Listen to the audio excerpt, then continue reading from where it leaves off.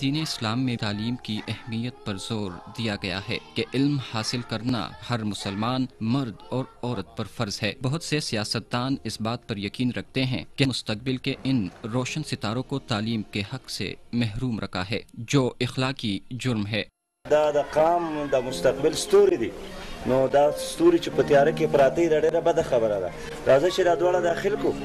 Team نه یې مونږ ته جو کتا په خپل داخل نن زه حاضر یم ستاسو خدمت لپاره سیاست دانوں کی ذمہ داری ہے کہ ہر اس بچے اور بچی کو تعلیم کا حق دیں جو اس زیور سے محروم ہے. کیونکہ اچھی تعلیم ہی قوموں کی ترقی کی ضامن ہے. تعلیم سے ہی پاکستان مستحکم اور متحد قوت بن کر افق پر ابھرے گا.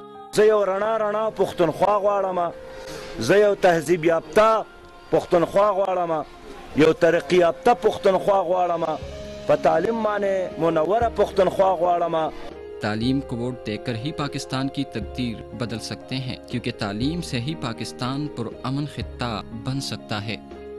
ټولنا اول اهم شی اهم شی اهم شی هغه به د خپل بچو ته د تعلیم ورکول دي۔ آئیے ہم سب مل کر عہد کریں کہ آرٹیکل 25 اے کے تحت ریاست کے ہر بچے اور بچی کو مفت تعلیم سے آراستہ کرے۔